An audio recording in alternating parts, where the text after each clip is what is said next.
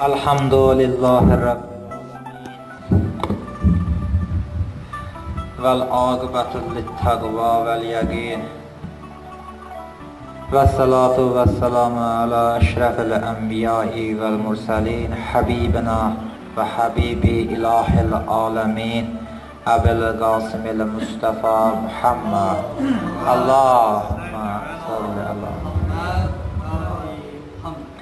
وعلى أهل بيته الطيبين الطاهرين المعصومين المكرمين سيما حجة البقية الله في الأرضين رب اشرح لي صدري ويسر لي أمري واحلل عقدة من لساني يفقه قولي. نوصيكم نفسي بتقوى الله. özümü və siz əziz möminləri ilahi təqvaya dəvət edirəm. Allahumma salli ala Muhammed və ali Muhammed. Bu günləri bizim üçün əziz günlərdən biridir. Əhl-i beyt sevənlər üçün bu gecə ən dəyərli, ən sevimli günlərdən biridir ki, ikinci imamımız İmam Həsən Müctəbə Aleyhisselamın mövlud günüdür. Bu günün və ağa imamı Həsən Müctəbə Aleyhisselamın dünyaya gəlməsi günü münasibəti ilə bütün əhl-i beyt sevənləri, qəlbində əhl-i beyt məhəbbəti, eşqi olanları, dilinin əzbəri əhl-i beyt olanları səmimi qəlbdən təbrik edirəm. Dünya və axirətdə əhl-i beyt məhəbbətindən, şəfaətindən Allah əhl-i beyt sevənləri və bizləri binəsib etməsin. İmam Həsən əleyhissalam yaşadığı şərəfli ömrü kimi dünyaya gəlməsi də şərəflidir və dünyadan köçməsi də şərəflidir və qısaca rəhbərlik etdiyi ömür də, dövr də şərafətlidir. Allah bizləri əhl-i beytdən ayrı salmasın. İmam Həsən əleyhissalamın dünyaya gəlməsi danışılıb, rivayət olunub, vaizlər danışıb, rivayətlərdə, kitablarda var. Amma mən bugün inşallah ki, tam başqa bir mövzuda xidmətünüzdə olaram ki, bir inşallah xatırlatma eləyim dünyaya gəlməsi ilə bağlı bir neçə mətləbdə inşallah bilmədiyizləriniz var ki, və siz və bizi dinləyənlər onları bilər. İstəyərəm bu məsələ hələ ki gündəmə gəlməyib, vaizlərimiz tərəfindən bu məsələyə toxunulmayıb, gizli qalıb, hansı səbəblərdənsə, amma inşallah tövfiq Allahdan mən bu mətləbə inşallah ki, bugün toxunaram. Qısa İmam Həsən əleyhissalamın dünyaya gəlməsi barəsində danışaq ki, İmam Həsən əleyhissalam Ramazan ayının 15-i şərəfli ömrü başladı, dünyaya gəldi. Və onun dünyaya gəlməsi çox gözəl, yadda qalan məsələlərdəndir. Həzrəti Peyğəmbərin ilk nəvəsi İmam Əli əleyhissalamın ilk evladı xanım Fatimə salamullah Zəhra, Zəhra salamullah əleyhanın ilk evladıdır. Dünyaya gəldi İmam Həsən əleyhissalam. Xanım Fatimə Həzrət Əli əleyhissalam buyurdu: "Ya Əli, bu uşağın adın nə qoyacaqsan, diqqət eləyin. Məsələ burdadır." Dedi: "Mən peyğəmbərdən qabağa keçmərəm." Gəldilər Ağa Rəsulullahın məhzərinə. Dedi: "Ya Rasulullah, bu uşağın adını nə qoyacaqsan?" Dedi: "Mən Allahdan qabağa keçmərəm." Cənab Cəbrail gəldi, salamladı, salam ərz etdi, təbrik ərz etdi və buyurdu, Ya Rasulullah, Allah buyurur ki, Harun Musanın vəziridir, Əlinin də sənə nisbəti Harunun Musaya olan nisbəti kimidir. Allah buyurur ki, bu uşağın adını Harunun oğlu adı Şibər qoy. Burada bu şibər İbrani dilindədir, İbri dilindədir. Mənim dini, dilim ərəb dilidir. Nədir ərəb dilində? Dedi Həsən. Yəni gözəl. Dedi, bu uşağın adını Həsən qoy. Nəzər eləsiniz ki, Musa peyğəmbər ulul əzm peyğəmbərlərdəndir, şəriət peyğəmbərlərindəndir. Amma Musanın nəslin, Musa, Musanın nübüvvətliyin Allah Harunun evladı ilə davam elətdirdi. Musanın özünün yox, Harunun qardaşının nəslindən davam elətdirdi. Peyğəmbərin nəslin, Peyğəmbərin imamətin kimlə davam elətdirdi? Həzrət Əliyin evladları ilə. Bizə irad tutanlar ki, Peyğəmbərin imamət barəsində ki, bizə irad bildirirlər ki, evla, qız evladından atanın nəsli davam eləməz və Əlinin evladlarının vasitəsi ilə imamət davam eləmədi. Bir dənə deyə bilərik ki, Allah Musa ilə yox, ulul əzm peyğəmbərlə yox, şəriət peyğəmbərlə yox, şəriət peyğəmbərinin qardaşının evladı ilə Musanın nəslini davam elətdirdi. Bu məsələ Musadan bəri gəldi və Allah sonunda xətim elədi, ya peyğəmbər. Bu məsələlər ki var, bu məsələlər ki var, sən bu məsələləri çatdır. Yəni nə idi? Əlinin nəsli ilə, Əlinin evladları ilə öz imaməti və öz nəslini davam elətdir. İndi biz İmam Həsən əleyhissalamın Muaviyə ilə sülh bağladı, Muaviyənin dövründə yaşadı və Cəddi Rəsulullahın dövründə yaşadı, atası Əlinin dövründə yaşadı. Bunlarla da işimiz yox. Amma bir neçə mətləbi ki, izah eləyəcəyəm, amma nəzər eləyin, diqqət edin. İmam Həsən əleyhissalamın sülhü nə dərəcədə keçmiş və ya eyni zamanda baş vermiş hadisələrdəndir. Bu sülhün təsiri altında düşdüyümüz, biz danışmalıyıq, aydınlaşdırmalıyıq. Bunun üçün biz bir qədər tarix səhvələrinə nəzər eləməliyik. Tarix səhvələrin geri vərəqləməliyik həqiqətdən ötürü. Biz tarix səhvələrin geri vərəqləyib biz peyğəmbərin dövrünə qayıtmalıyıq və peyğəmbər öz dövründə ümməti üçün nə tapşırmışdı, ona baxmalıyıq, ona nəzər eləməliyik. Ən əsas aktual mövzulardan biri budur ki, İslam tarixinin ən böyük hadisəsi Xatəmül Ənbiya Həzrəti Rəsul Əkrəmin vəfatıdır. Vəfatı və bütün dünyaya işıq saçan bu səmavın nurun sönməsidir. Peyğəmbərin nurunun sönməsi bütün dünyanın nurunun sönməsi demək idi. Yəni vəhyin yerlə göyün əlaqəsinin kəsilməyi demək idi vəh mələyinin vəh gətirməyinin ardı arası kəsilməsi demək idi. Peyğəmbər ki, Allaha ləbbey deyib, ruhun Allaha təslim etməmişdən qabaq, Peyğəmbərə Allah nə dedi? Allah da bilirdi ki, Peyğəmbərdən sonra Peyğəmbərin bir qism ümməti Peyğəmbərin ailəsinə əzab verəcək. Onun üçün də Quran ayələrində, hədisi qudsilərdə və Peyğəmbərin dilindən çıxma hədislərdə insanlara çatdırdı və açıq aydın bir ayə göndərdi. Maidə surəsinin 67-ci ayəsi. Ya əyyuhər rasul Bəlliq ma unzilə iləyik min rabbik və in ləm taf'al fəma bəlləxdə risalətə. Bax, nəzər edin. Ya Peyğəmbər, Rəbbin tərəfindən sənə nazil ediləni təbliğ et. Təbliğ et. Rəbbin tərəfindən sənə deyiləni təbliğ et. Əgər ki, sən bunu etməsən, sən bu təbliği çatdırmasan, 23 illik risalətün hədərə gedər. Tamamlanmaz, xətim olunmaz. Necə ki, məsəl üçün, bir insan bir dənə ev tikdirir öz üçün. Evi tikdirir, üstün vurdurmur. O evin içində yaşamaq olmaz. O xətim olunmayıb, o tamamlanmayıb. Bir insan özü üçün paltar tikdirir. Parçasını alıb, amma dərziyə verib onu əynində pisdirməzsə, onu əyninə giyə bilməz. O xətm olunmuyor, o tamamlanmıyor.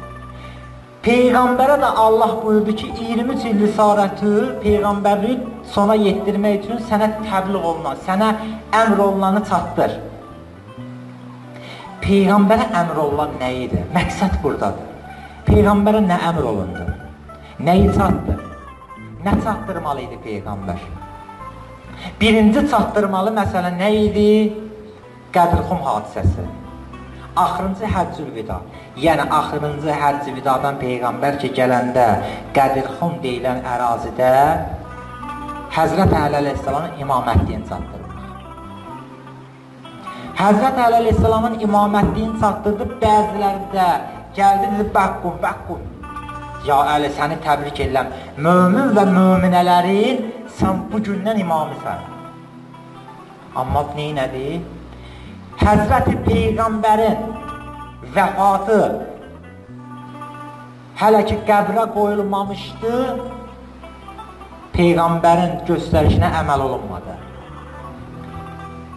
Peyğəmbərin əmri tapdalandı. Allahın Quranda buyurduğu tapdalandı. Əmr olunmadı.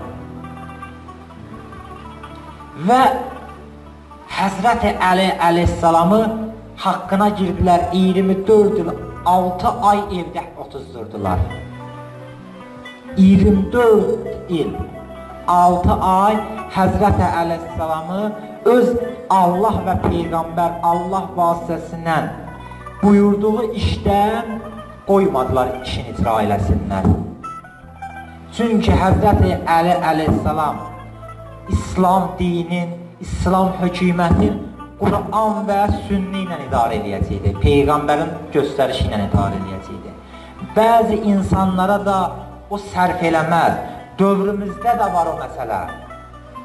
Dövrümüzdə də var ki, bu dəqiqə diqqət eləsiniz, hansısa bir iş adamlarının, hansısa bir dövlətin, ingilislərin ki, deyək, iş prinsipləridir ki, biz şiyyələrin, Cəfəri məzhəbinin arasında bir dənə ayrı seçkilik salır.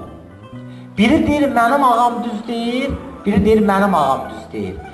Amma nəzər eləsin haqqa, ədalətə ki, mənim ağam, mənim ağam yoxdur, bizim bir ağamız var, o da inşallah qeybdədir gələcək. Amma o qeybdə olan ağamızın dövlətin idarə eləyən o qeybdə olduğu müddətcə bir nəfər lazımdır. Bir dənə ailəni, 5 nəfərlik, 10 nəfərlik ailəni başçı olmasa idarə eləmək olmaz. Bir dənə müəssisəni, idarəni hər kəsə eyni vəzifəni versələr, eyni işi gör, idarə eləməyi görsələr, o idarədə özbaşınalıq olar. Ona görə də idarənin bir rəhbəri olar ki, o rəhbərə tabi olsunlar, neynəsin o müəssisədə, o idarədə iş keçsin.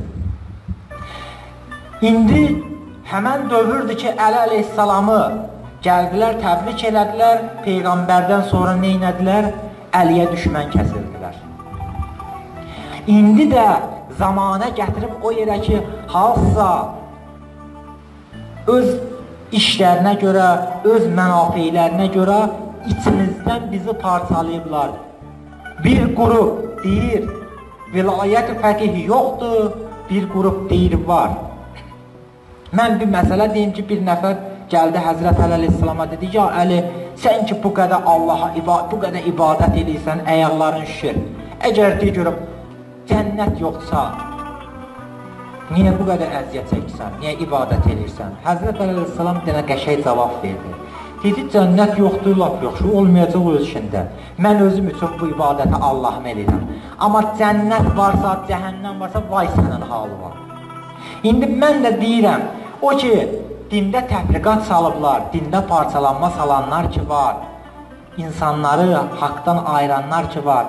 Əgər imam zaman zuhr eləyəndə onun dövlətin lazımı şəkildə imam zamana təhvil verəndə o ki danışanlar ki var Seyid Əli Xamneyinin haqqında ki lazımsız ağla gəlməyən, dilə yaraşmayan, əxlaqa yaraşmayan sözlər ki deyənlər ki var onlar imam zamana nə cavab verəcəklər? Nə cavab verəcəklər? Mətləbdən ayrılmıram. Bəli, Peyğəmbərə deyildi ki, sən neynə 23 il risalətin ərzində çatdı, təbliğ elədi. Nəyi çatdır? Peyğəmbər nəyi çatdırdı cəmaata, ümmətinə? İnni tariku fikum sagaleyn kitab Allah və itrat əhli Mən sizin aranızda iki dəyərli şey qoyub gedirəm, əmanət qoyub gedirəm. Bir Allahın kitabı və bir də mənim əhl-i beytim. Bu ikisindən sarılsanız, heç vaxt zəlalətə düşməzsiniz. Bir-birinizdən qiyamətə qədər, mənə qovuşana qədər ayrılmazsınız. Amma Peyğəmbər hələ sağ idi, Peyğəmbər şəhadət yatağında idi. Dedilər bizə nədir? Quran bəs eləyər. Quran bizə bəs eləyər. Niyə? Çünki öz işləri üçün lazım olan ayələri Qurandan nəsx elədilər, hökmündən saldılar və Quranın 8 mənası var. 4-ü zahiri aləm üçündür, 4-ü batılı aləm üçündür. O zahiri aləmdə o mənanı öz istədikləri kimi dəyişib, istədilər ki, öz istədiyi yolla özlərinə belə deyək ki, sərf eləyən yolda İslam dövlətini idarə eləsinlər. Amma Allah özü Quranda deyir ki, biz bu Qur'anı paklara miras qoyduq və onu qoruyarıq. Allah qoruyur, Allah öz dinini qoruyur. Ta ki, bu dinin sahibi inşallah ki, bir ucalı salavat zikr eləyək ki, onun zuhuru təcili olsun. Allah.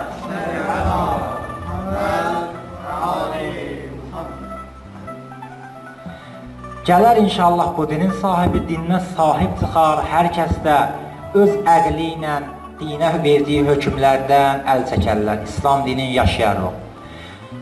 Bəli, Peyğəmbər salavatullah vəfatından dərhal sonra onun buyurduqlarına əməl etmədilər. Onun ailəsinin haqqını tapdaladılar. Onun tapşırıb getdiyi imaməti məqbul hesab etmədilər. Özləri 6 nəfərlik şura təşkil elədilər, özləri üçün imam təyin elədilər. İslam dinin istədilər neynəsinlər? Yerlə bir eləsinlər, İslam dinindən əsər əlamət qalmasınlar. Bəli, Həzrəti Əlinin dövrü gəldi o dövrə ki, o dövr səbr dövrü idi. Əgər Həzrəti Əli səbr eləməsiydi, indi İslamdan əsər əlamət yox idi. İslam deyilən bir şey yox idi. Çünki Əlinin dövrü səbrə bağlı idi. İndi İmam İmam Həsən əleyhissalam ki, Muaviyə ilə sülh sazişi imzaladı. Bəziləri var idi ki, dedilər bu məsələ düz deyil idi. İmama qarşı çıxdılar ki, sən niyə düz eləmədin? İmamın da dövrü, İmam Həsənin də dövrü o sazişi bağlamağın üstündə idi. Əgər İmam Həsən əleyhissalam Muaviyə ilə o sülh imzalamasaydı, Romalıların əlində bir fürsət var idi ki, İmam Həsənin qoşunu ilə Muaviyyənin qoşunu üz-üzə gəlsin, Roma imperatorluğu keçsin hücuma, hücuma keçsin ki, İslamdan onlar yanıqlı qalmışdı. Belə deyək ki, İslam onlara bir dağ çəkmişdi və onlar İslamı yerlə bir eləsinlər. İmam Həsən əleyhissalam da imamət gözü ilə gördü bu məsələləri görürdü. Bildi ki, əgər Muaviyyə ilə bu müharibə eləsə, nə bunun yan ətrafında bir o qədər döyüşçüsü yox. Muaviyyə hiyyəgərli ilə Beytülmalı keçirdi bəlinə və insanları çəkib ətrafına. Həm İmam Həsən məğlub olardı, həm İslam dini aradan gedərdi. Onun üçün də İmam Həsən əleyhissalam imamət nəzəri ilə baxdı və Muaviyyə ilə şərt kəsdi və usulhu bağladı.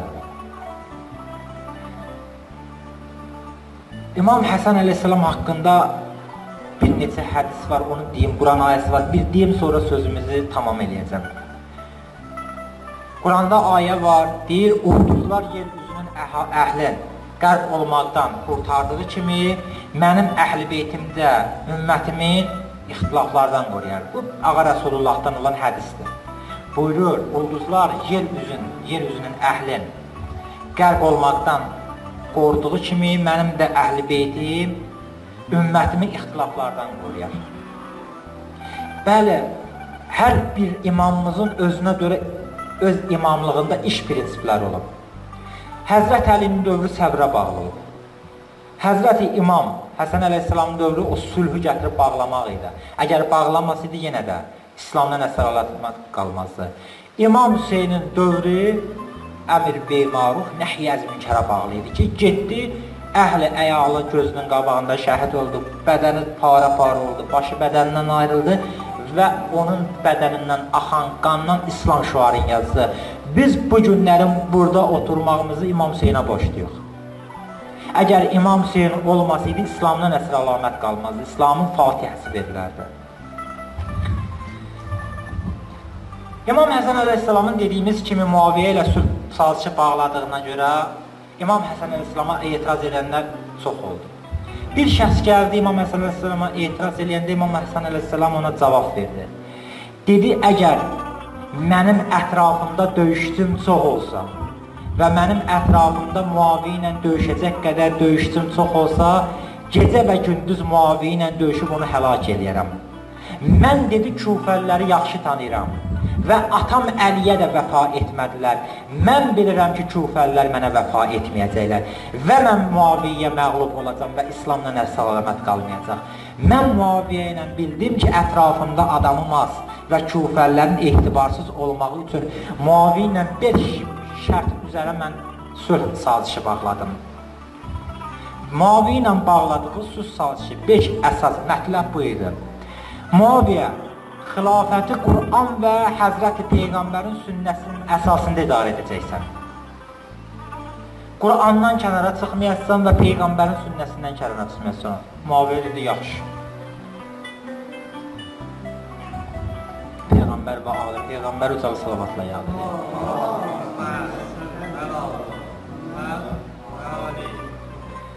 İkinci məsələ bu idi ki, Muaviyə dedi Muaviyə səndən sonra xilafət mənə keçəcək. Əgər mən dünyada olmazsam, qardaşım İmam Hüseynə keçəcək. Üçüncü məsələ şərtimiz budur ki, namazlarda atam Əliyə, Həzrət Əliyə lənətləmək və onu pisləmək bidəti aradan götürüləcək. Bilirsiniz də bir zaman var idi, insanlar namazın qunutunda əstəğfirullah, Həzrət Əliyə lənət deməsiydilər, o yerə çatdırmışdılar təbliğlə ki, namazlar batildir. Bir nəfər də gəldi məsciddə namaz qıldı, bilmədi, Əliyə lənət demədi, gəldi bir məmləkətdə yadına düşdü, dedi Allah, keç mənim günahımdan bu yerdə bir məscid tikdirərəm. O vəziyyətə gətirmişdilər İslam dinin. Dördüncü məsələ bu idi ki, dedi, Kufənin Beytulmalında, büdcəsində olan 5 milyon dirhəm pulun mənim ixtiyarımda, mənim nəzarəti altında sərf olunacaq. Mənim nəzarəti altında xərclənəcək. Bilirsiniz də, mən çox siyasi məsələyə toxunmuram. İnsanların payları qala-qala başqa ölkələrə paylar axıdılır. Bizim haqqımız qəsb olunur. Amma İmam Həsən bağlayanda söz sahəsinə dedi 5 milyon dirhəm mənim nəzarəti altında səqirin, fəqrin malıdır, onlara paylanacaq.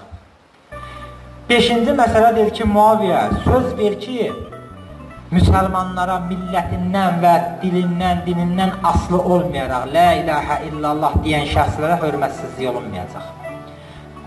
Dedi, yaxşı, mən razıyam. İkisi bir yerdə, ikisinin də qoşunu gəldilər Kufədə, Mətidə.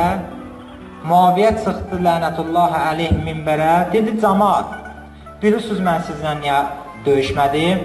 Çünki siz namaz qılan idiniz, namaz qıldığınız üçün mən sizlə döyüşmədim. Necə ki, Nəhribanda məğlub olacağım bilə-bilə hiyliyə əl atdı, burada da hiylə işlətdi. Həzrət Əli ilə müharibədə məğlub olacağım biləndə əmr elədi ki, Quranları keçirdin Neziyə. Nət gəldi, Əliyinin də qoşun dedi, ya Əli, onlar da Quran əhli, biz Qurana qarşı nəcür döyüşək? Həzrət Əli Əleyhisselam dedi, siz hələ Quranın kimin tərəfində olmasını bilmirsiniz. Siz natiq Quranı qoyub burada ağ kağız üzrə yazılan Quranlara tərəf keçsiniz. Ona görə bu dəqiqədə biz Qurandan uzaq düşməyimizin səbəbi odur ki, zamanələr o yandan bu yana hilə atdılar ki, biz Quranı düzgün yolda öyrənə bilməyək. Dedim mən sizlə bildiniz niyə? Siz namaz əhlisiz. Ona görə mən sizlə döyüşmədim. Allaha and verək izzətinə, cəlalına xatir. Bizləri dünya və axirətdə əhl-i beyt məhəbbət və məhəbbətindən ayrı salmasın.